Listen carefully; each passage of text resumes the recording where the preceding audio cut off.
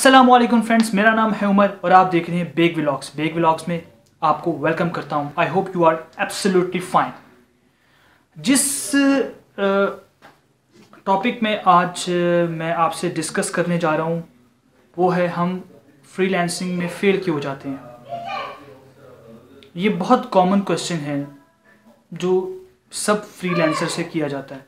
और ये वो लोग करते हैं जो कि फ्रीलांसिंग में फेल हो जाते हैं।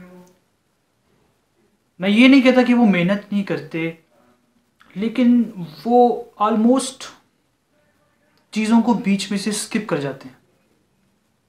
ये सबसे इंपॉर्टेंट क्वेश्चन है और इस पर तवज्जो देने की इसलिए मुझे ज़रूरत पेश आई कि इसका जवाब मैं आप तक किसी तरीके से पहुंचाऊं कि हम क्या करें कि जो हम गिव अप ना करें। मेरी इस बात पे गौर कीजिएगा कि हम क्या करें कि हम गिव अप नहीं करें। गिव अप करते हैं तो इसका मतलब फेलियर सामने है। फेल हो गए हम। नथिंग तो सबसे पहले कि फ्रीलांसिंग में जब हम एंटर होते हैं तो हम एक एम लेके एंटर हों। जब हम एक एम लेके एंटर होंगे, जब हमारे पास गोल्स होंगे हमारे कि हमने वो अचीव करने ही करने हैं। लाइफ को मैनेज करके अगर इस चीज़ की तरफ़ आया जाए और सबसे पहले इसको पार्ट टाइम बना के ही चला जाए, फिर ये बाद में फुल टाइम में कन्वर्ट होती है। तो अपनी दूसरी चीज़ों को मैनेज करके इसको मैनेज किया जाए तो हम, हमारे पास एक, अलग सा एक एक्टिविटी आ जाती है। एक एक्टिविटी प्रोड्यूस हो जाती है ये चीज़। तो हम इसे एक एक्टिविटी के तौर पे रखें और एक्टिविटी के तौर पे जब हम इसमें आएँ और अपना एम और गोल्स लेकर आएँ कि हमारे पास स्किल है और हम कुछ करना चाहते हैं और हमने इस पर कुछ करना ही करना है तो फिर हम इस पर कामयाब होकर ही निकलते हैं। जिसका तो ये माइंड है। लेकिन जिसका ये माइंड नहीं है और वो सिर्फ़ यहाँ पे एक चीज़ के लिए आया है कि मुझे यहाँ पे सिर्फ़ पैसा ही कमाना है। पैसा कमाना, मेरी बात को गौर से सुने कि पैसा जो कमाना है, वो सबका ही एक डिफ़ॉल्ट गोल है। कुछ देर के लिए उसे भूल जाएँ, कुछ देर के लिए उसे जहन में निकाल दें और कुछ देर के लिए अपने पैशन को जहन में रखें कि हमारा पैशन है, कि हमने यहाँ से अर्निंग करनी है, हमने यहाँ पे एक पर्सनैलिटी डेवलप करनी है। प्रोफ़ाइल डेवलप करनी है। हमने यहाँ पे आगे जाना है। कुछ लम्हे के लिए भूल जाए कि यहाँ से अर्निंग होती है। बस ये रखें कि हमारी यहाँ पे एक प्रोफ़ाइल बिल्डअप होगी। हमारा यहाँ पे एक एक इमेज क्रिएट होगा। बस उस चीज़ को जहन में रख के यहाँ पर काम करना शुरू कर दें। पैसा तो अर्निंग तो ऑटोमेटिकली जनरेट होनी होनी है। वो होनी होनी है, वो प्रोजेक्ट करना है तो वो पैसे मिलने ही मिलने वो पैसे कहीं नहीं जाते। लेकिन जो चीज़ें दिमाग में रखें, वो जो मैं समझा रहा हूँ, वो यही है।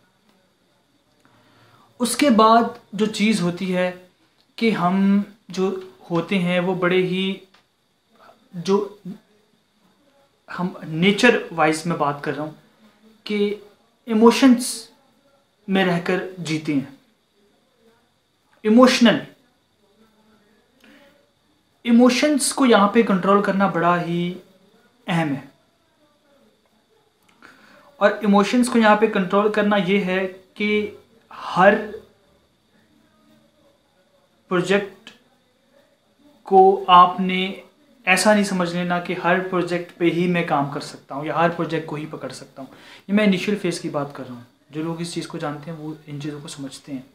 लेकिन मैं इनिशियल लोगों की बात कर रहा हूँ कि जो कि अभी टेंथ स्टैंडर्ड के हैं एलेवंथ स्टैंडर्ड में हैं, जो कि इन चीज़ों को नहीं पता, लेकिन इन चीज़ों को ये पता होना चाहिए कि इमोशनल जो चीज़ें होती हैं, वो हमें इसके अंदर काम नहीं आती।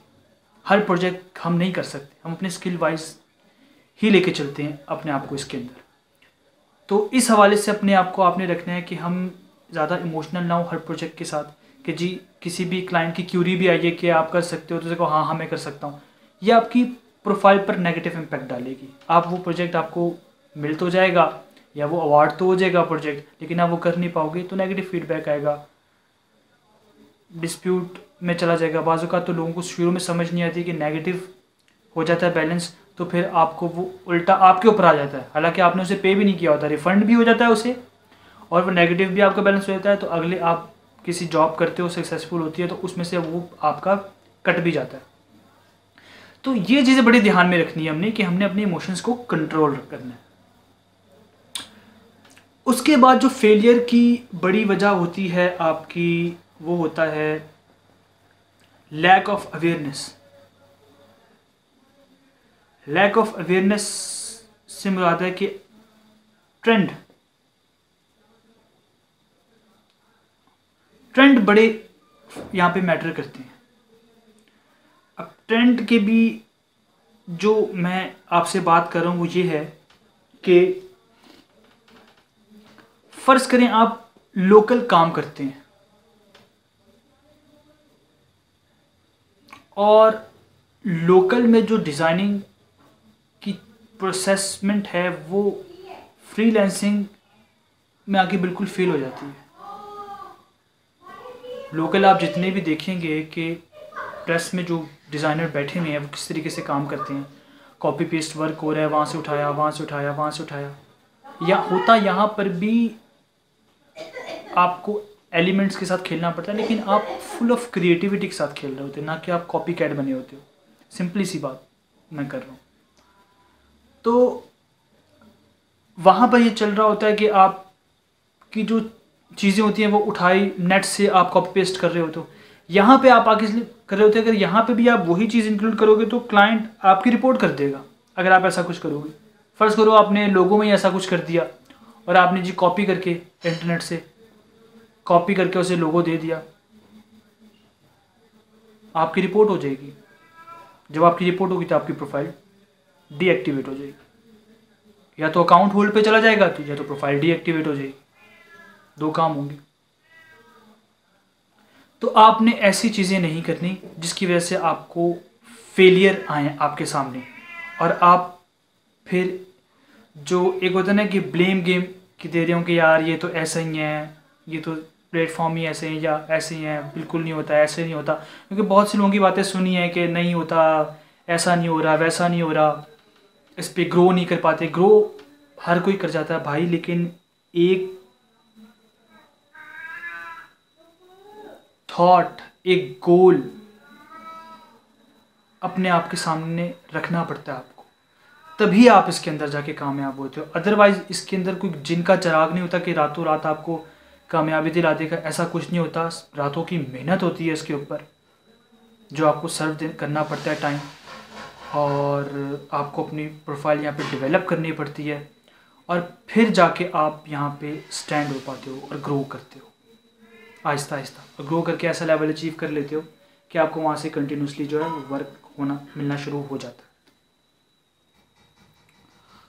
तो फेलियर की जो ये वजहें हैं, ये मैं, मेरे लिहाज से जो है, ये मैं बहुत इन चीज़ों को इंपॉर्टेंट समझता हूँ कि अगर ये चीज़ें आप लोग कर रहे हो तो फेलियर आएँगे सामने। लेकिन अगर ये, अगर आप इन फेलियर से कुछ सीखते हो, आप एक्सपीरियंस ही कर रहे हो इन चीज़ों के साथ और कुछ सीखते हो तो कोई बुराई बुराई नहीं है इसके अंदर। क्या आपका कोई टाइम वेस्ट हो रहा है? अगर आप टाइम वेस्ट आप समझो आप टाइम टाइम वेस्ट ही करके कुछ सीख रहे हो तो ये आपके लिए कोई बुरी चीज़ नहीं है। आप कुछ ना कुछ इसके अंदर लर्न कर जाओगे और कुछ ना कुछ करके इसके अंदर कामयाब हो जाओगे। तो उम्मीद करता हूँ आपको मेरी ये वीडियो पसंद आई होगी। और ये बातें ये बातें बहुत इंपॉर्टेंट मैंने आपसे की, इन बातों को बहुत जहन में रखिएगा। जो मैंने अल्फाज अपने यूज़ किए हैं यहाँ पर, इनको बहुत गौर से सुने आप। और कि मैंने आपसे कहा, ये बातें बड़ी ये बातें मैंने किसी किसी से नहीं की हुई, ये बातें इस तरीके से। क्योंकि ये बहुत माइनर बातें हैं जो इन चीज़ों को बड़ी फोकस फोकस रखती हैं इनके ऊपर। कि अगर आप ये चीज़ें नहीं करेंगे तो आप इसके इस फ़ील्ड में कामयाब नहीं है और आपको इसके अंदर आने की ज़रूरत भी कोई नहीं है। आप कोई और काम कर लें। अगर आपको कोई और काम आता है और आप, अगर आप कर सकते हैं तो वो काम कर लें, बजाय इसमें आने के। तो यहाँ पर जब आप आएँगे तो आपको इन चीज़ों का ख्याल रखना है और यही चीज़ें आपको आगे लेके जा सकती हैं। आपको मेरे से कोई सवाल पूछना हो तो आप कमेंट्स में पूछ सकते हैं। अगली वीडियो में फिर मुलाकात होगी। तब तक के लिए अल्लाह हाफिज़।